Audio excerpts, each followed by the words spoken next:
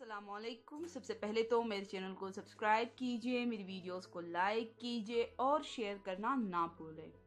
دوستو، drama, serial انا کی نئی پرومو نشر کی جا چکی ہیں، جس میں آپ دیکھیں گے کہ ازا کے والد یعنی اعظم صاحب کی برتھ ڈے سیلیبریٹ کی جا رہی ہوتی ہے۔ سب بہت خوش ہیں۔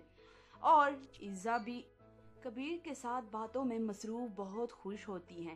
یہ سب التمش بھی دیکھ رہا ہوتا ہے۔ التمش ایزا کو کبیر کے ساتھ دیکھ کر بہت زیادہ غصے میں آتا ہے، لیکن وہ کچھ کر نہیں سکتا اور ایزا بھی التمش کو اگنور کرتی ہیں۔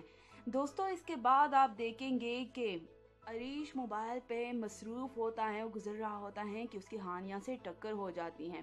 وہ ہانیہ کو دیکھتے ہی اسے بول دیتا ہے، بہت اچھی لگ رہی ہو ہانیہ عریش کے منہ سے یہ بات سن کر حیران رہ جاتی ہیں اور وہ کچھ نہ سمجھنے والے انداز میں پوچھتی ہیں کہ جی کیا کہا آپ نے جس پر ایک بار پھر سے عریش اس کی تعریف کرتا ہے اور کہتا ہے کہ بہت اچھی لگ رہی ہو ہانیہ کو اب بھی ان کے ان الفاظ پر یقین نہیں آتا۔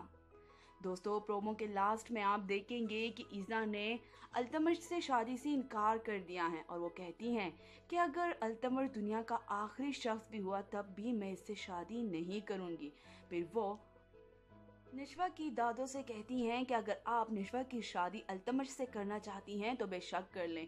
مجھے کوئی اعتراض نہیں ہے۔ التمش بھی یہ سب سن رہا ہوتا ہے اور ایزا وہاں سے چلی جاتی ہیں۔ التمش کو بہت زیادہ غصہ آتا ہے اپنی انسلٹ پر، لیکن ایزا نے کہہ دیا ہے کہ اسے اپنی انا سے پیاری کوئی چیز نہیں ہے۔